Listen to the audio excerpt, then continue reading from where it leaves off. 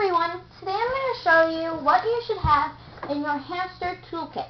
This is something that you will need, that it's basically a box that you fill with items that you will need before you buy your hamster. Okay, let's get started. First thing you'll need to buy is a hamster home, like this one.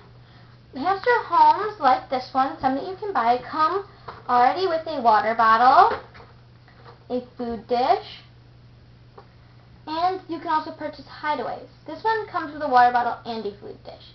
So it's good. This is a small hamster home. It's very small for like a Robovorski. This one does not come with a wheel, but you can, some of them do come, like pre-set up with everything that you will need. Next thing, if you are not purchasing a home that includes a wheel, you'll need a wheel. This is a large wheel. You can purchase them at pet stores, they come in a variety of sizes and colors for you to choose from. Also, you'll need a hideaway. This is an igloo hideaway. You can purchase them anywhere. They also come in different shapes and sizes and colors you can choose from. You also need um, bedding. The bedding is the stuff that they will sleep in and stuff. And this is just a sample size. You're going to need much more.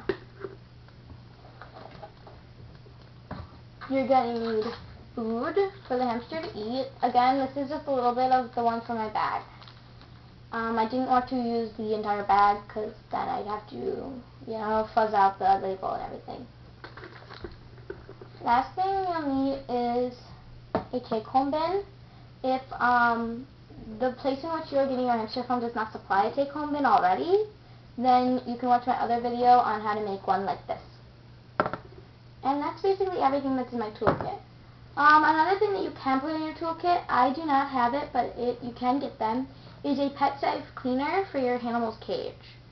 Um, okay, thanks for watching, I hope you enjoy your new hamster. Bye!